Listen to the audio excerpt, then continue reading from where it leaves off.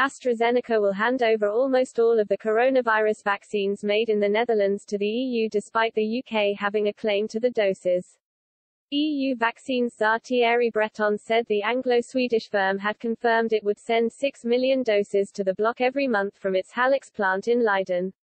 The factory has been at the center of the cross-channel jabs war because the UK has a contractual claim to for it to fulfill orders of the Oxford-produced jab for our domestic vaccination drive.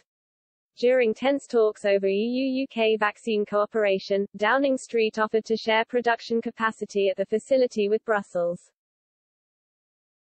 But Mr. Breton said AstraZeneca's CEO Pascal Soriot had acknowledged all but one batch made at the plant will be sent to EU member states. I organized a video teleconference between the CEO of Halix and the CEO of AstraZeneca, and finally the CEO of AstraZeneca recognized that all the production of Halix was planned to support the EU delivery.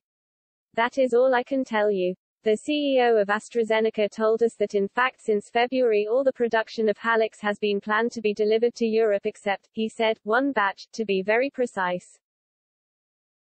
As a result, Mr. Breton, the head of the Bloc's vaccine task force, recently threatened to use the EU's export controls to prevent shipments of the Oxford jab overseas. The Frenchman last week said, zero doses made in the EU would be sanctioned for delivery to Britain until AstraZeneca fulfilled its contract with the bloc. AstraZeneca has a commitment, Mr. Breton added. They have committed 70 million in quarter two and I know that 70 million is AstraZeneca's production, more or less, of Halix and Seneffe, a plant in Belgium. This is why I think that they will deliver the commitment, but I just remind you that at the beginning the contract was 180 million, so they reduced drastically what they could do.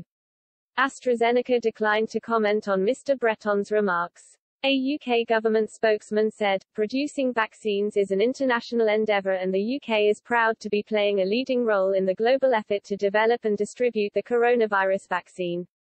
We are continuing to make exceptional progress through the rollout of our vaccination program and remain confident in our supplies.